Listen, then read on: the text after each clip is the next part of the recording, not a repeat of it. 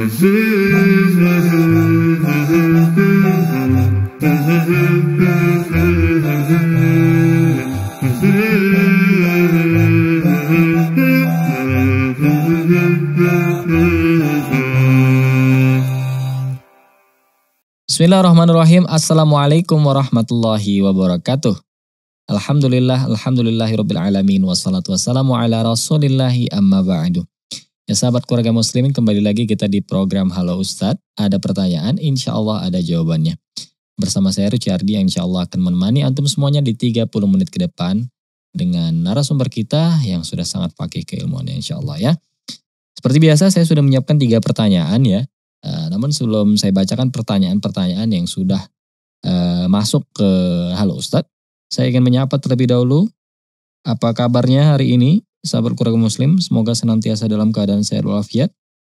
Dan buat teman-teman yang sedang berjuang ya, uh, atau ingin resolusi di nanti di 2023 mungkin dimudahkan perubahan-perubahan yang positif baik itu urusan dunia dan terutama urusan akhirat ya teman-teman ya, ibadah.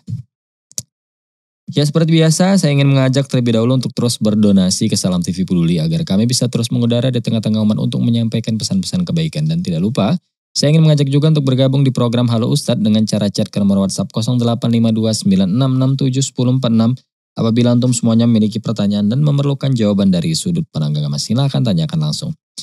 Baik, untuk pertanyaan pertama kita coba hubungi Ustadz Muslim.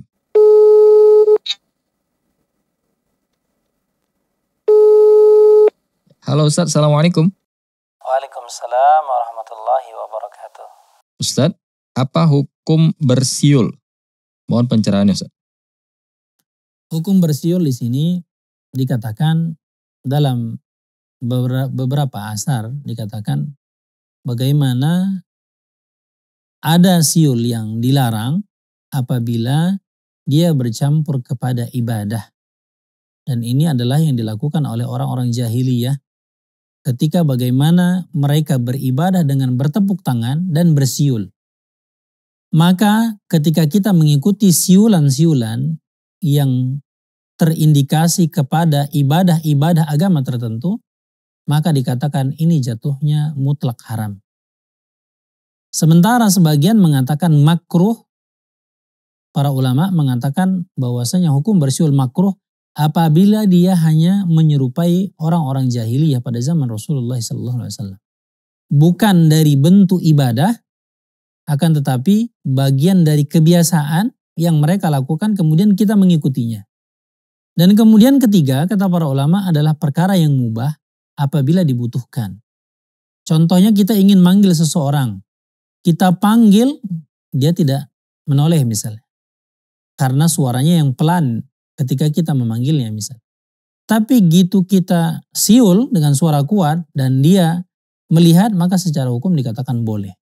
Akan tetapi kata para ulama dalam beberapa fatwa dikatakan bahwasanya mestinya siogianya seorang muslim ketika tidak ada kebutuhan untuk meninggalkan siul. Allah taala Iya, syukran jazakallah khairan. Ustadz Muslim atas penjelasan dan jawaban yang Masya Allah. Nah teman-teman bersiul ini apa ya menimbulkan suara dari mulut ya. Biasanya ini memang sering juga ya banyak dilakukan oleh uh, teman-teman. Namun dalam hal ini ada beberapa catatan yang disampaikan oleh Ustadz Muslim. Ini bersiul ini dilarang apabila uh, ini sebagai apa namanya terindikasi untuk mengarah pada hal-hal yang ibadah gitu ya. Nah ini mutlak haram teman-teman. Kalau seandainya ini bersiul ini memang untuk ibadah. Ya. Kemudian ada juga dia bisa jadi makruh apabila ini memang bertujuan untuk menyerupai kaum jahiliyah. Nah kemudian yang ketiga tadi ini mubah, boleh, tapi ini hanya saat-saat yang diperlukan saja. Misalnya tadi seperti yang disampaikan oleh Ustadz Muslim ya, Misalkan kita memanggil teman kita atau saudara kita dia tidak dengar, kemudian dengan bersiul, eh, dia jadi refleks atau eh, lebih kuat suara kita untuk memanggilnya, maka diperbolehkan. Namun ada yang lebih baik lagi kata disampaikan oleh Ustaz Muslim tadi bahwasanya seorang muslim itu lebih baik tidak tidak untuk bersiul teman-teman. Ya semoga terserahkan buat sahabat yang bertanya. Uh, nanti akan kita lanjutkan di segmen yang kedua. Jangan ke mana-mana tetap di program Halo Ustaz cuaca sedang hujan bolehkah sholat berjamaah mengikuti imam masjid dari rumah? Kebetulan rumah dekat dengan masjid sehingga suara imam kedengaran jelas dari masjid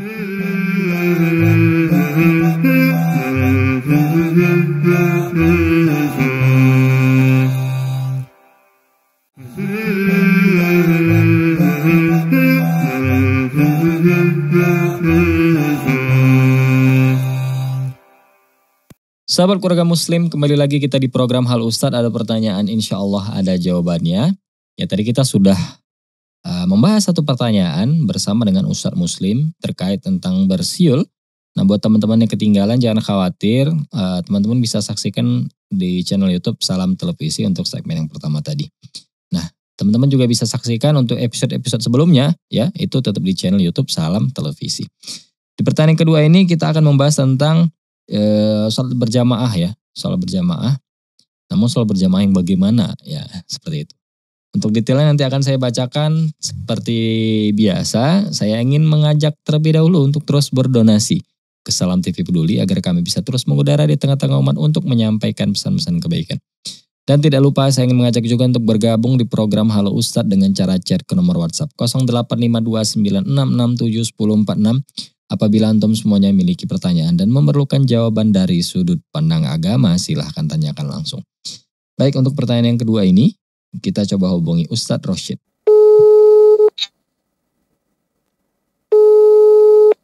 Halo Ustadz, Assalamualaikum.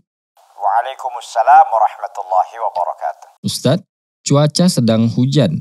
Bolehkah sholat berjamaah mengikuti imam masjid dari rumah Kebetulan rumah dekat dengan masjid, sehingga suara imam kedengaran jelas dari masjid. Mohon pencerahannya Ustaz. Bismillahirrahmanirrahim. Alhamdulillahirrahmanirrahim. Sallallahu sallam wa ala Muhammadin wa ala alihi wa uh, Rumah yang dekat dengan masjid, lalu tidak ke masjid. Kenapa? Karena memang bisa berjamaah sendiri di rumah. ya Karena imam suara imam jelas, ya jaraknya juga dekat. Maka kata para ulama tidak boleh. Hukum sholat di rumah mengikuti imam tidak sah. ya Tidak sah.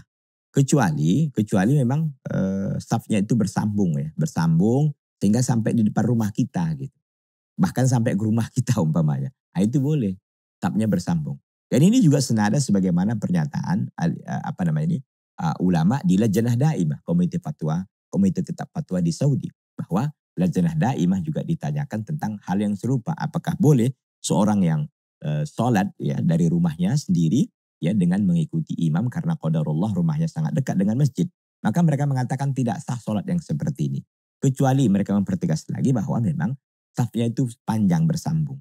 Itu nggak ada masalah. Safnya sambung, bersambung, bersambung, bersambung sampai nanti ke uh, dekat rumah orang yang orang yang ingin sholat dari rumah tadi. Sampai bahkan sampai ke rumahnya gitu. Tapi kalau hanya pertimbangan dekat, hanya pertimbangan uh, apa namanya suara imam jelas, mungkin karena uh, apa ya uh, pengeras suaranya didekatkan ke rumahnya maka ini nggak jadi alasan tidak menjadi alasan pembolehan bahwa orang yang dari rumah itu boleh mengikuti si imam yang sholat berjamaah di masjid. Lalu dia mengklaim dirinya ikut berjamaah nggak boleh harus keluar ke masjid ya. Meskipun mungkin jaraknya dengan imam nanti panjang kan sabnya panjang itu bang tapi itu bersambung terus sabnya gitu kan. Asap satu sab dua sab tiga empat lima enam sampai di belakang ya. Walaupun dia jauh dari jaraknya nggak apa-apa jadi bagaimana kalau seandainya rumahnya betul-betul memang pas di belakang masjid umpamanya. Dan itu sabnya bersambung gak ada masalah. Gak ada masalah. Jadi saya maksud bahwa uh, dipastikan ya bukan hanya bermodalkan tadi itu. Bermodalkan suara imam jelas. Kemudian juga dekat. Bukan itu modalnya. Modalnya adalah pastikan kita memang ikut terlibat di dalam soft. Saf itu dan itu bersambung ya. Kalau memang bersambung sampai ke rumah kita nggak ada masalah. Tapi kalau memang enggak walaupun jaraknya dekat. Kita wajib untuk hadir dan e, turun langsung untuk e, sholat di saf-saf di belakang imam. Jadi tidak boleh tidak boleh kita sholat sendiri di rumah ya dengan alasan itu tadi karena dekat karena suara jelas tidak tidak tidak dianggap sah sholat yang demikian ya. Wallahu taala a'lam. Iya, syukran jazakallah khairan Ustaz Rashid atas penjelasan dan jawabannya Masya Allah. Nah teman-teman ini ternyata tidak bisa ya teman-teman sekalipun memang masjid uh, suara imam uh, menggunakan speaker misalnya terdengar dari rumah kita atau mungkin dari rumah yang memang kita dengar lah pokoknya dari jarak yang cukup jauh kita masih terdengar, ini tetap tidak bisa kita ikut berjamaah dengan mengikuti suara imam tersebut. Nah, kecuali tadi catatannya adalah kecuali safnya itu, saf dari masjid tersebut itu sampai ke depan rumah kita. Ya, jadi safnya dari masjid, mungkin memang masya Allah jamaah jamaahnya sampai keluar dan safnya itu memang sampai depan rumah kita itu boleh. Namun kalau seandainya dengan eh, walaupun sekalipun kondisi cuaca hujan, eh, ini tidak dibenarkan dan tidak bisa kita berjamaah kepada imam yang memang beda antara rumah kita dan masjid. Seperti itu teman-teman. Ya semoga tercerahkan buat sahabat yang bertanya dan uh, menjawab kebimbangan dan kebingungan. Nanti akan kita lanjutkan di segmen ketiga, jangan ke mana-mana tetap di program Halo Ustaz. Bolehkah memberikan nama anak dari bahasa asing yang artinya juga diperhatikan dan memiliki makna yang baik?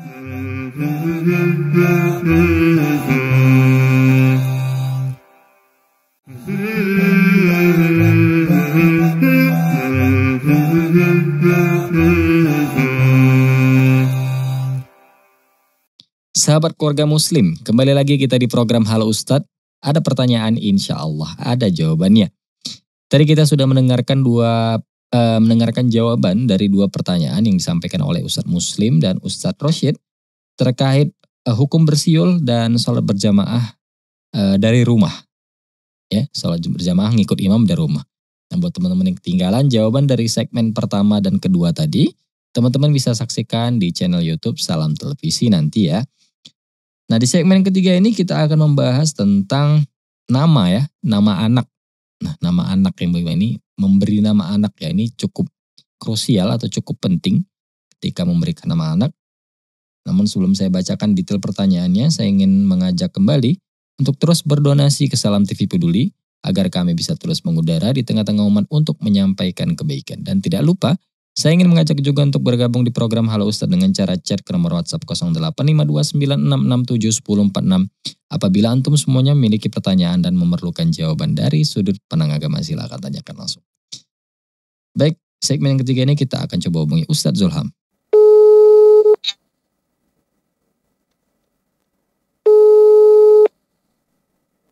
Halo Ustadz, Assalamualaikum. Waalaikumsalam warahmatullahi wabarakatuh. Ustadz, Bolehkah memberikan nama anak dari bahasa asing yang artinya juga diperhatikan dan memiliki makna yang baik? Mohon pencerahan dan nasihatnya Ustaz. Pemirsa yang berbahagia rahimani wa rahmakumullah. Orang tua yang memiliki kewajiban ketika anaknya baru lahir ialah memberi nama. Memberi nama.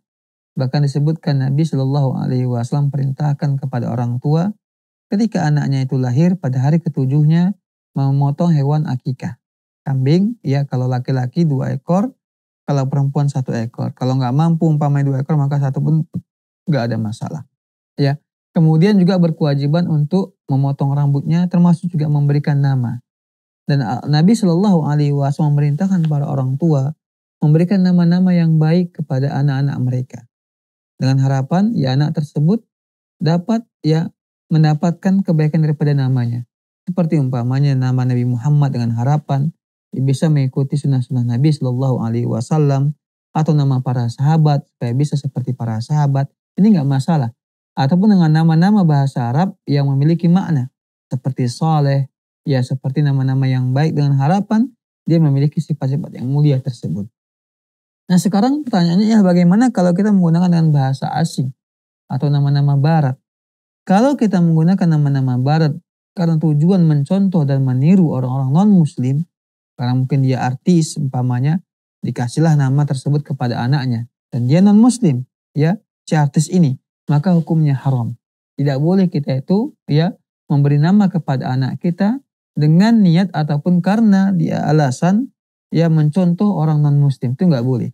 Tapi kalau memang nama-nama tersebut dari bahasanya dan umum digunakan dan umum digunakan ya maka tidak ada masalah ya tapi alangkah baiknya sebenarnya nama tersebut kita berikan kepada si anak. Nama yang mudah untuk diucapkan. Dan mudah untuk diingat. Kemudian juga memiliki makna yang baik. Dan tidak yang mengandung unsur maksiat kepada ya ataupun yang berdampak kepada anak-anak kita karena nama-nama yang kita berikan kepada mereka. Masih banyak nama-nama Islam ya, seperti nama-namanya para sahabat, ya, kemudian nama-namanya para nabi ataupun nama-nama dari bahasa Arab yang mengandung ya doa umpamanya atau boleh juga ya menggunakan bahasa Indonesia nama-nama tersebut yang mengandung doa. Silakan. Ya umpamanya orang memberikan nama anaknya perdamaian, ya kan banyak seperti itu.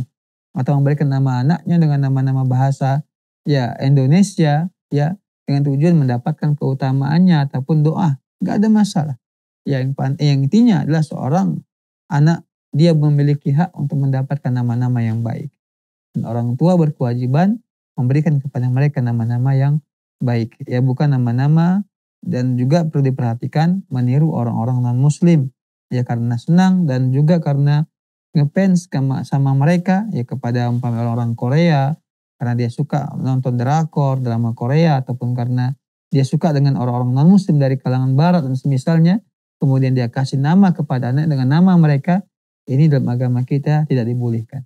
Nabi Shallallahu Alaihi Wasallam bersabda man tashabbaha biqaumin fahuwa minhum siapa yang meniru suatu kaum maka dia termasuk di antara kaum tersebut ini yang kita khawatirkan maka berilah nama yang bagus dan baik.